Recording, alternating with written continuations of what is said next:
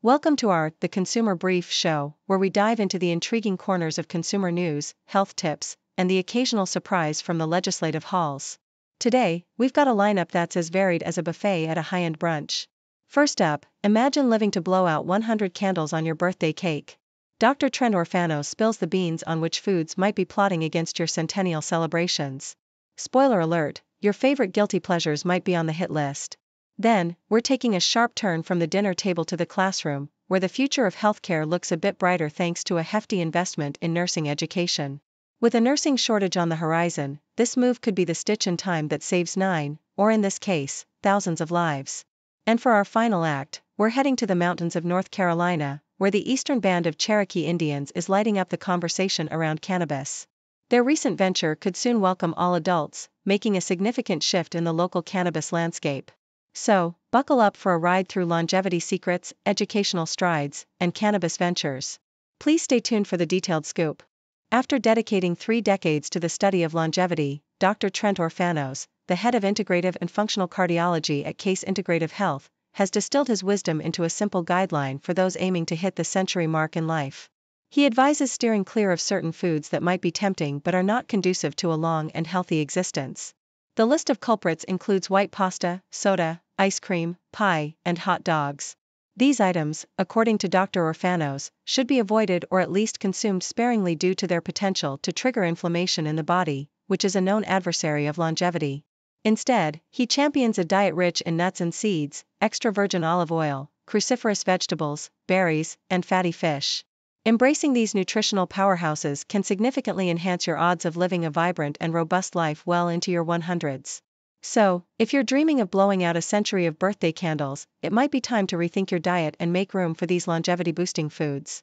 U.S. Congressman Tom Cole has successfully obtained $4.5 million in funding to enhance the nursing program at Pontotoc Technology Center, PTC. Superintendent Travis Graham expressed excitement, noting that this expansion will not only bolster the center's healthcare capabilities but also forge new career paths for a varied workforce, positively impacting local communities. With the U.S. Chamber of Commerce forecasting an average annual opening of 193,100 nursing positions until 2032, against a projection of only 177,400 new nurses joining the field by the same year, this investment is a timely boost to address the growing demand for healthcare professionals.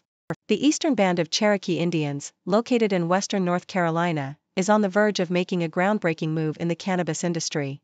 According to a tribal council member during a recent council work session, they are considering expanding sales at their newly opened medical cannabis superstore to include all adults, not just those with medical prescriptions. This superstore, managed by Qualla Enterprises, the Cherokee's cannabis subsidiary, launched with an impressive inventory of over 34,000 fully tested, certified products. According to Forrest Parker, the general manager of Qualla Enterprises, the store's diverse range includes various cannabis forms such as flower, vape items, edibles, and topicals. This potential policy shift could mark a significant milestone in the accessibility of cannabis products, reflecting the tribe's progressive stance on cannabis use and sales. Thank you for tuning in. The content above showcases the latest briefing reports and analytical synopses, thoughtfully curated by the 6Do team. These insights stem from a wide array of reputable media outlets, think tanks, government sources, and specialized experts worldwide. We encourage you to explore these sources for a comprehensive perspective. Keep in mind that while the content may not always align with the official standpoint of 6Do Brief, it's not meant to be taken as absolute directives for decision making. Comprising seasoned media professionals, learned scholars, and accomplished scientists, the 6Do team embodies a trailblazing, fully independent media entity.